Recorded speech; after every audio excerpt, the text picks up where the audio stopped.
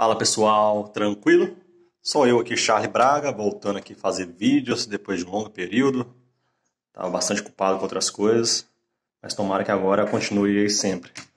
Então, fui ligar meu computador aqui e tive um problema, o teclado não está funcionando. Então, a primeira, a primeira coisa que eu fiz aqui, e deu certo, é, se, ele não está funcionando, quer dizer, está ligando, mas as teclas não funcionam. Então eu percebi que pode ser que alguma tecla esteja com sujeira, esteja pressionada é, com frequência. É como se eu estivesse pressionando, a tecla estiver com sujeira lá dentro, é como se estivesse apertando isso aqui direto. Então se apertar as outras letras não funciona, porque essa já está pressionada. Então o que eu fiz? Eu simplesmente virei o teclado para baixo, bati nele, nessa parte aqui, para se tiver alguma sujeira agarrada em alguma tecla sair. E soprei também, assim, para baixo, soprei para ajudar a sair a sujeira. E deu certinho, ligou, tá?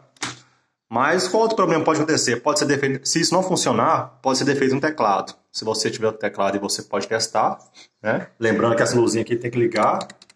Se não estiver ligando, quer dizer que provavelmente o teclado não está nem funcionando.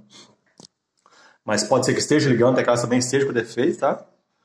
E o último caso que eu já vi é a questão de é, falta de aterramento tá? É, falta de ferramenta na tomada, você pode tentar providenciar uma, uma ferramenta para sua tomada para ver se é esse problema, tá bom? Então essa dica de hoje aí, qualquer dúvida deixa um comentário, é isso aí, um abraço pessoal.